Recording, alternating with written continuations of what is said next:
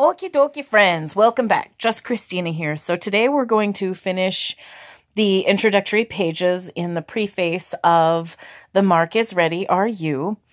And the laser beam number. This talks about essentially how it's done. This was a three way conference call. And let's go ahead and read, shall we? At 2:34 p.m. Pacific Standard Time, February 20th, 1975, Spokane operator 539 arranged a three-way conference call. The parties involved were Nadine Gerke, WWCC's fourth estate journalism advisor, myself, and an electronic engineer who wishes to remain anonymous. We will call him Roger. Roger is employed in the San Francisco Oakland Bay area and is well versed on the subject of laser beam technology.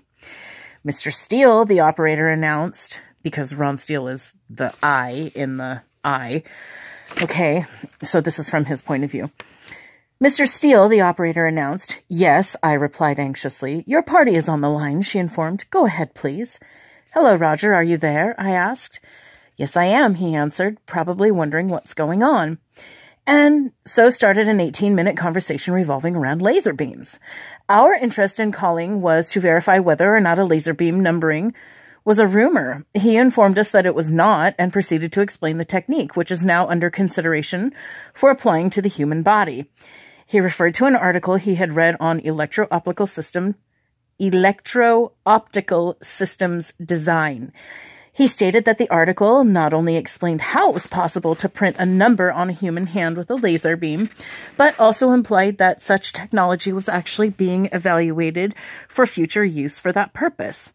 In essence, Roger explained that a laser beam could painlessly apply a number on a person's hand by scarring the tissue, which would remain invisible to the naked eye. He mentioned two ways of detection. One way is by the use of infrared rays and a frequency of 940 nanometers. Um,